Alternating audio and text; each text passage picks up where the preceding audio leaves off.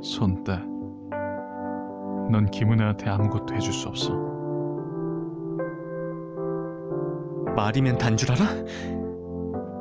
도우진, 넌 항상 그랬어. 알아? 재수 없다고 그 눈빛.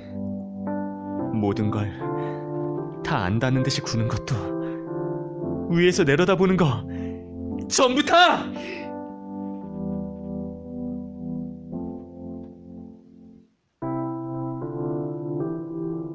이럴 줄 알았으면 아무것도 없는 게 나았어.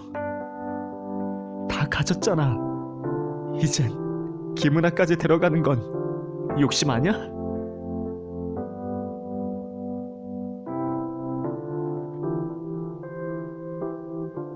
내가 먼저 김은아한테 다가갔어.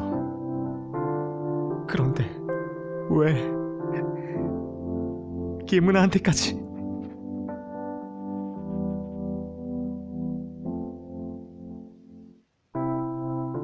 한강수호. 지금 당장이라도 네 목을 부러뜨리고 싶지만 간신히 참는 거야. 알고 있어?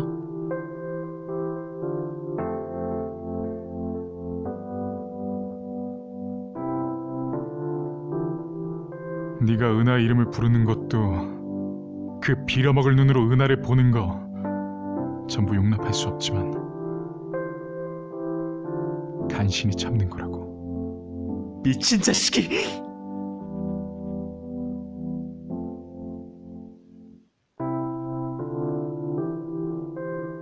그리고 넌 은하를 좋아하는 게 아니야. 뭐?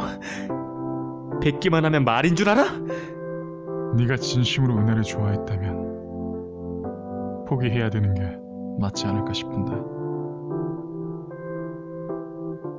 그거 알아?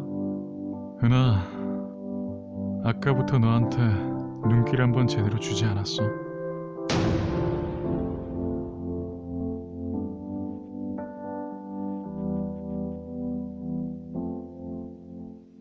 정말이네. 사고 난 이후로 눈길 한번 주지 않잖아. 김은아, 참을 만큼 참은 것 같은데.